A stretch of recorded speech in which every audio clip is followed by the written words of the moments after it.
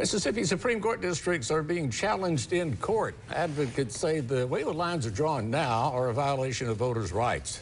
W News Tao Ta has more on the challenge of the Mississippi Supreme Court districts. Tao? Well, the lawsuit filed this morning says the Mississippi High Court violates the Voting Rights Act and the U.S. Constitution by diluting the voting strength of black Mississippians. Now, a lawsuit initiated by the American Civil Liberties Union, ACLU of Mississippi, Southern Poverty Law Center, and Simpson, Thacher, and Bartlett, which is headquartered in New York, is filed on behalf of several plaintiffs urging that the state Supreme Court districts be redrawn so that black voters have a fair opportunity to elect candidates of their choice. Now, Mississippi's population is is almost 40% black, and since 1987, there has been no change in the Supreme Court voting maps.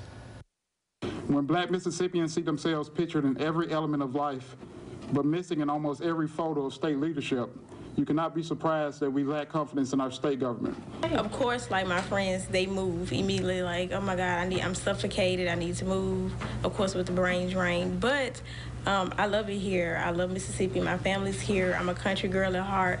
I do not want to move, and so it's like I just have to be a part of the change.